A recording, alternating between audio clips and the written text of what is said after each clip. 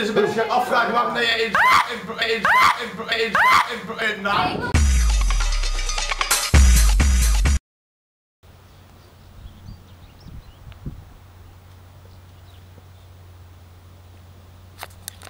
Hey guys, good morning. So I'm on my way to the swimming pool again today and I thought let's start today with some cows.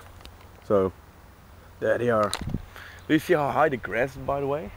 You almost can see the cows behind there. You see? It's over there. Well, that's something else now. But eh, so today is a cow day. Yeah. But I think still think banana eh, is better. Sorry. Sorry cows. Look how sad he's looking. Good evening. So, Remko, that you might know from my Zo, vlogs, is 3, starting 2, a, 1, mijn camera is kapot. a vlog. And his channel name has not yet been decided, so it's up to you to give that guy a channel name. What channel name should he use? Tell it down there and he will pick it out from there. So after a good night of swimming, it's time to head into the city for a long lost meeting with you, who should be around there somewhere.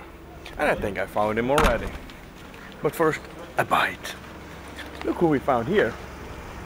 I think I know these people. Yeah. Oh yeah, I'm in the middle of the road. Good evening, Eelco.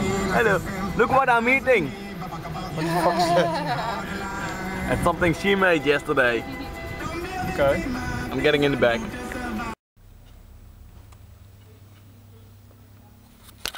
Hey guys, so we're having a little wine and dine. It's, it's kind of it's, it's a little bit different from dine and dash, from di- whining. w- w- wine and dine of dine and dash with uh, these nice folks. It's a little bit dark, I'm sorry, but Ken just brought in these awesome shoes that he made himself. What do you think about that? Isn't that just plain awesome? You're awesome. I'm sorry. That's just the way it is. Deal with it. Hey guys, good evening. So, if you haven't found it yet, you can actually watch my videos while listening to Vuvuzela sounds if you're not annoyed enough by my voice or videos already. There's a button over there, it's a little football that makes play Vuvuzela noises all video long for your entertainment. Second thing is I got a good conversation with my boss today and we come to an agreement.